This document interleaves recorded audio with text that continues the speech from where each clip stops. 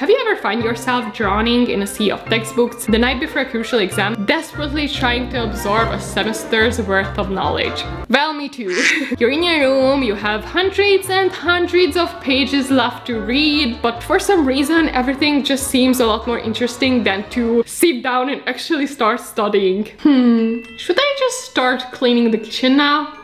That seems like a wonderful idea. So up until I get to university, I always considered myself as the lazy student. I never really put in a lot of work. I was always looking for shortcuts. I really only studied when I had to, but for some reason, I still managed to be a straight A student all throughout high school, all throughout elementary school, and even at university, I was acing my university. And my experience made me realize that the key to becoming a straight student wasn't to study very hard. It wasn't to pull all-nighters. It wasn't to study for 15 hours straight. I realized that the secret to becoming a top student was to change up a few but very crucial and very fundamental study and lifestyle habits that I'm gonna share with you in this video. So keep watching. Okay, so you want to become a straight A student. You want to become a high achiever straight A student. The first thing you have to do is to put this bad boy on airplane mode. I think most of us have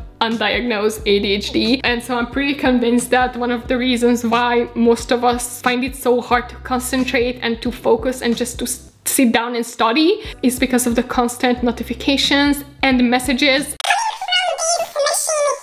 if you want to become a straight student or even if you just want to improve your grades, the first thing that you have to do is to put this phone away. This goes for your phone, but it also goes for anything else that could distract you from studying. Like for example, if you live with people who are very annoying, if you have annoying roommates who are just making a lot of noise, or if you have annoying parents or family members, earplugs, earbuds, AirPods. You choose your weapon, but you need to eliminate all the distractions around you. And so one of the best ways to start is to put this away and then put this in. I also heard of people who, in order to eliminate distractions, put their phone in a separate room or in a drawer, for example. So whatever floats your boat. Just make sure that the outside world and the outside noise don't have access to you. Your boyfriend can wait, your friends can wait, your mom can wait, people can wait. Your future cannot wait. People can wait. It's just for a couple of hours. First things first, self-discipline. So now that we have all distractions eliminated, let's talk about where you should study. A lot of students students make the mistake of studying in the same exact spot where they also do all of their other daily activities. This is usually their room,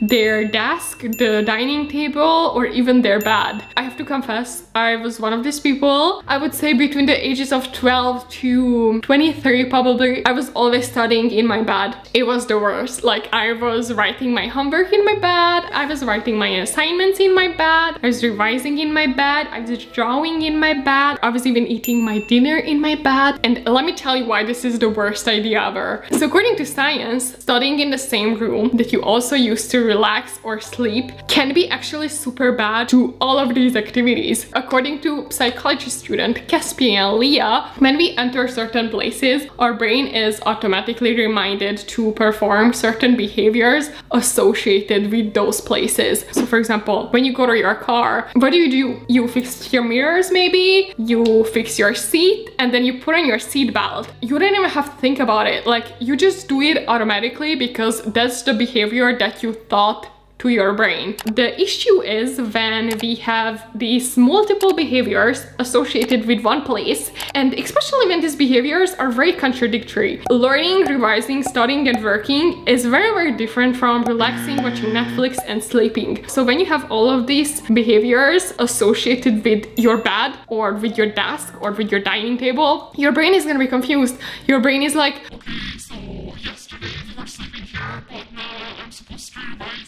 Stop, stop, stop, stop, stop, so your brain is very confused. So science actually recommends us to either have one study spot where all we do is study or to regularly switch up our study spots. I personally recommend switching up your study spots regularly because this can actually enhance learning and retention. There's just something about recalling the same thing in different environments that helps you to remember it better. I also personally really like to go to places where a lot of people are doing the same thing. Libraries, coffee shops, or like WeWork, places where a lot of people are working at the same time. I think that this is very productivity enhancing. Being in an environment where a lot of people are doing the same thing and especially when it's something like studying or working. I really recommend you switching up your study spots regularly and especially try to go to places where a lot of people are studying with you. So now that we talked about the best place to study, let's also talk about when you should study. So again, according to scientific experts, the best time to study is from 10 a.m. to 2 p.m. and 4 p.m. to 10 p.m. I actually don't agree with that because any other experienced student who know how to study even outside of those two time windows know that the best time to study is whenever you can feel the most alert and concentrated during the day. And let's debunk another myth. You don't have to wake up early to study, okay? Like I kind of agree with the statement that you can focus better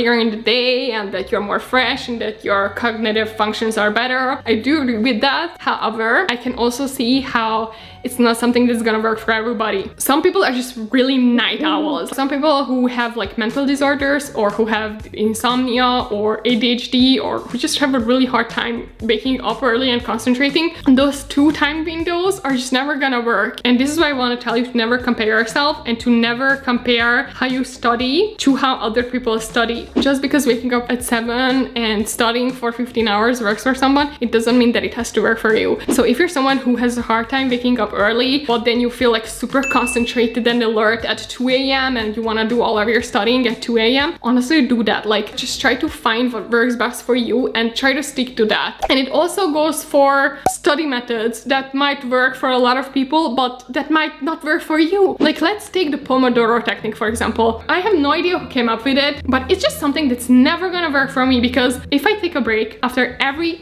20 minutes. Those breaks are not gonna be just 5 minute breaks. Those breaks are gonna turn into 2 hour K-drama sessions. 아주 많이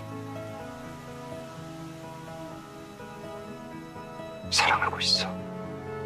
If I'm gonna take a break after 20 minutes, I just better uh, stop studying for the day. So don't compare yourself to other people. Find what works best for you and study in the times where you feel the most focused and concentrated. Organize your day for success. I truly believe that at least 70% of your academic success depends on how well of a strategy you can create for yourself and how organized you are in your time management. So when it comes to studying and exams, you need to be organized organized. Start putting your study sessions in your calendar in advance. What do you do when you have an appointment? You put it in your Google Agenda. Whenever you have a lunch with someone, you put it in your Google Agenda. If you wanna organize your study sessions, you need to put it in your agenda and you need to put it weeks in advance. Like that's the other thing. You have to know when your most important exams are coming up. I think a lot of students where they go wrong is that they don't really follow their like exam schedule. They don't really know when their next exam is gonna be. So they just get so lost in their whole like preparation process because they don't really know when what is. So if you know, for example, that you have a very important exam coming up next week, make sure that you prepare this week that you have around that one exam. So for example, plan like one or two hour study sessions every single day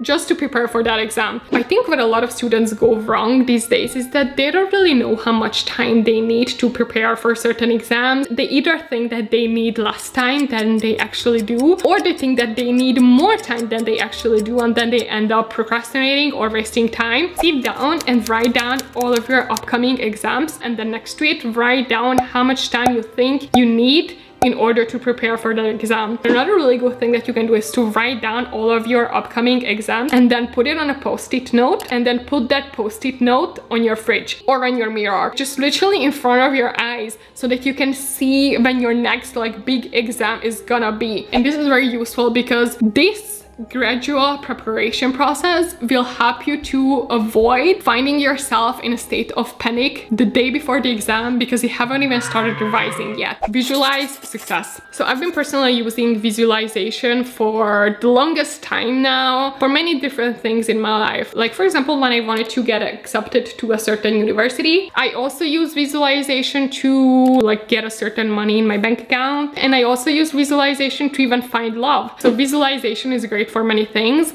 but it's also very great for achieving academic success. So if you don't know what visualization is, it's just basically a practice where you create mental images in your mind that implies that you already have or that you already achieved the thing you want to achieve. In my case, for example, when I was visualizing getting accepted to a certain university, I would create a scene in my mind that implies that I'm checking my emails and I'm receiving an email from the university that I wanted to get accepted to, congratulating me on my acceptance to that university. And when it comes to achieving academic success, I would close my eyes and I would imagine going to my university's website, going to see my grades, and I would see the grades that I wanted to have. Your mind doesn't know the difference between what's real and what you're just imagining in your head. And so when you're repeatedly feeding an image to your mind, when you're repeatedly imagining something in your mind, it just gets imprinted on your subconscious mind. And if you know anything about your subconscious mind, your subconscious mind's job is to basically lead you to the behaviors and actions in order to achieve what you're repeatedly seeing in your mind. Like your subconscious mind will just lead you to the behaviors and actions that you need to take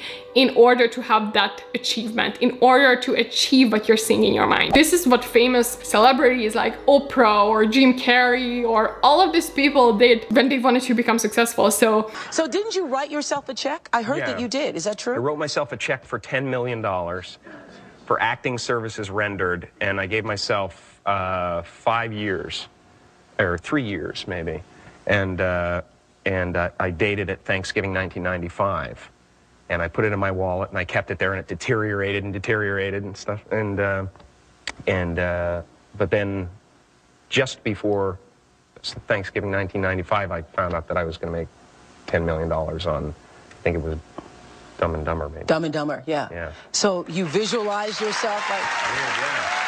Train your mind to succeed. Visualize yourself already being a top student. Keep repeating what you want and you will get there. Like you will know, you will know what to do. Make sure you're healthy. All this being said, you can strategize all day. You can pull all-nighters if you want, but if you're not healthy, if you're not taking good care of your health, all of these efforts are gonna go to waste. I think a lot of times, especially us young people, one of the reasons why we have such a hard time with concentrating and why we are so lazy, we're not lazy. We are just stressed or anxious or burned out. Your health and especially your mental health have a really huge impact on how your brain functions, how productive you are, your cognitive functions, your academic performance. So if you're not taking care of your overall health, if you don't get enough sleep, if you're not eating well, if you're not working out, or at least if you don't do any kind of minimal physical activity like walking, it's gonna be really hard to do well academically. So the thing that I would put first before all of these strategies and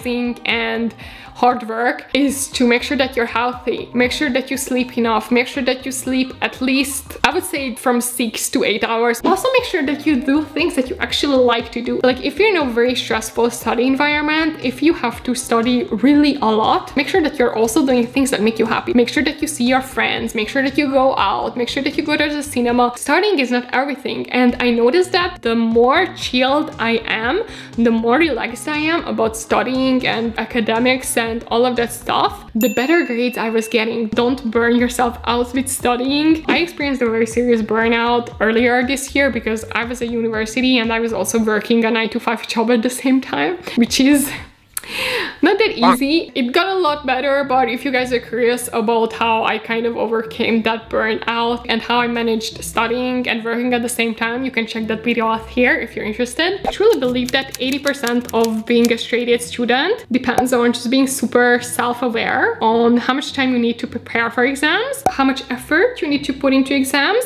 being mentally and physically healthy, and also being in a place where you are not distracted by outside circumstances So figure out what method works for you. Don't compare yourself to other people and you're gonna become successful. So thank you so much for watching this video. I hope that you enjoyed it. If you did, please make sure to give it a like and subscribe to this channel to see more videos like this. And if you're curious about how I personally study consistently with a 9 to 5 job, please make sure to watch this video next.